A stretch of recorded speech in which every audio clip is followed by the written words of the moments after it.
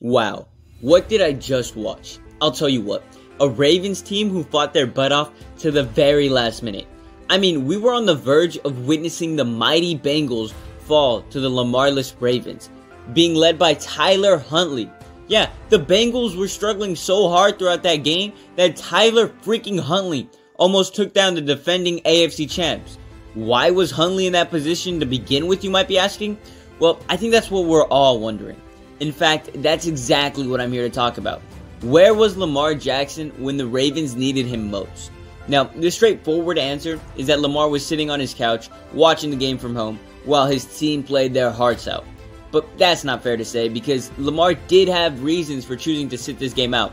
Whether you agree with his decision or not, his reasons were valid.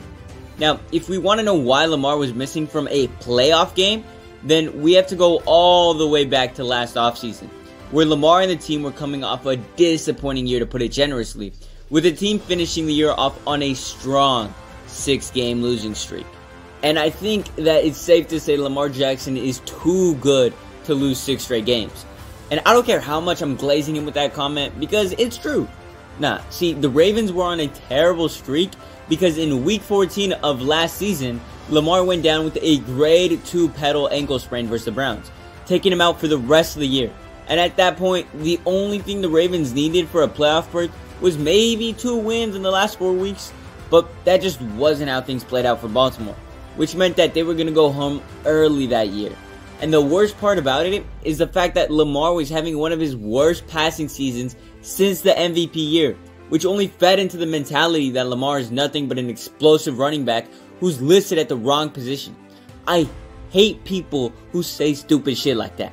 So, because Lamar was coming off the biggest injury in his career up to that point and his worst statistical season since his rookie year, the Ravens front office thought it'd be best for the organization if they played it safe when it came to Lamar's contract negotiations. And what I mean by safe is that the team didn't want to potentially overpay a QB who'd spend more time recovering than playing actual football. So they lowballed him. And that, my friends, is where all the drama really kicked off for the Ravens. See, I believe that this so-called safe move was very cowardly on the team's part. Now, you're probably asking, what was this tremendously stupid offer that I'm referring to?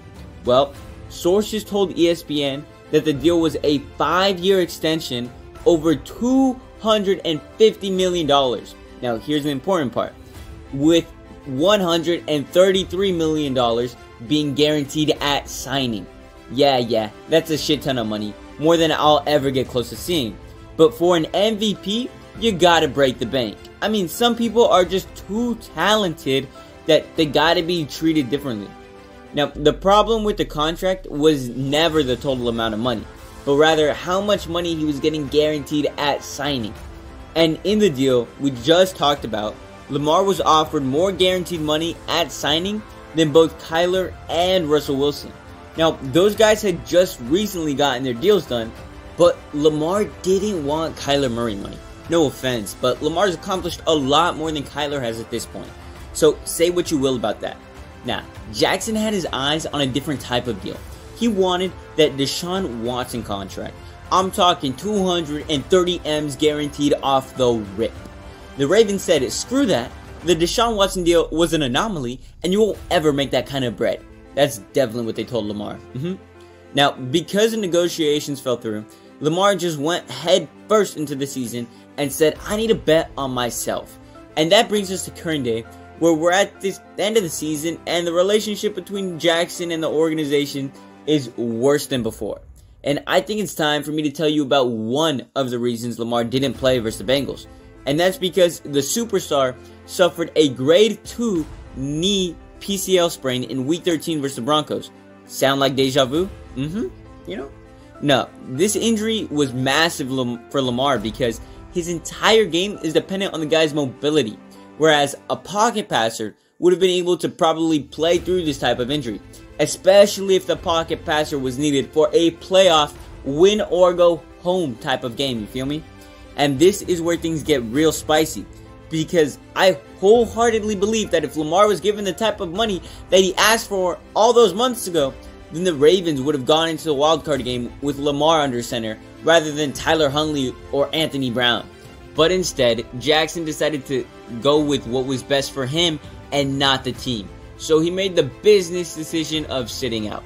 And that is why Lamar Jackson wasn't anywhere to be found when the Ravens needed him most.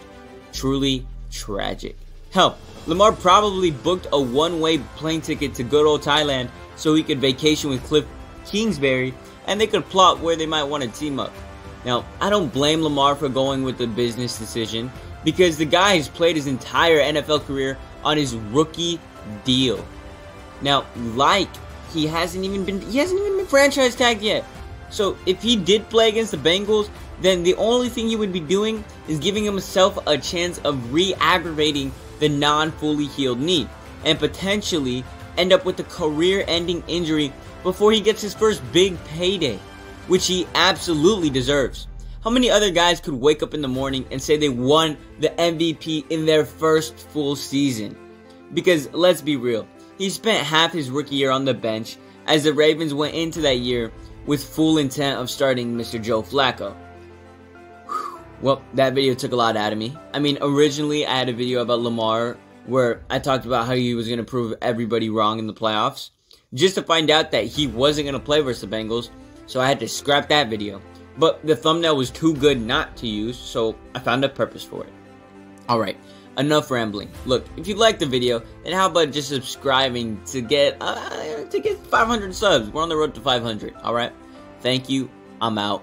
Deuces.